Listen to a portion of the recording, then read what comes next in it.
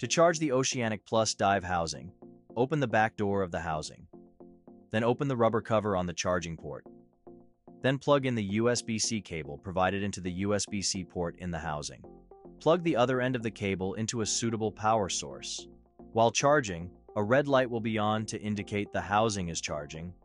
The light will turn green when the housing is fully charged.